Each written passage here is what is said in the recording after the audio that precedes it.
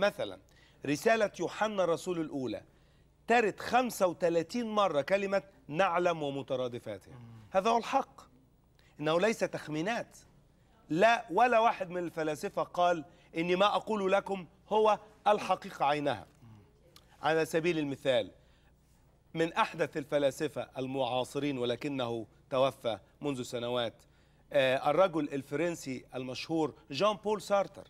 سألوه في آخر عمره ما هي الحياة؟ فقال الحياة هي فقاعة فارغة تتهادى على بحر من اللا شيء.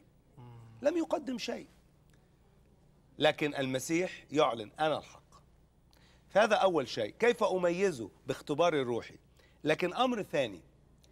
إن من يعلن أنه الحق لابد أن يقدم الوثائق التي تؤكد صحة ما يقول وصحة ما يدعيه هل المسيح حياته وموته وقيامته لها براهين منطقية وتاريخية؟ نعم. مثلا أدلة صلبه ما أكثرها أدلة قيامته مئات. الإنجيل نفسه الذي فيه أقوال المسيح له من المخطوطات القديمة آلاف المخطوطات. إذا كل شيء وثائقي موجود وليس مجرد ادعاء. الأمر الثالث الذي يجعلني أميز الحق أن المسيح وحده هو الذي يعطي للإنسان يقين في علاقته مع الله. لا يوجد ترقب أو أمل أو عسى أو لعل كلا.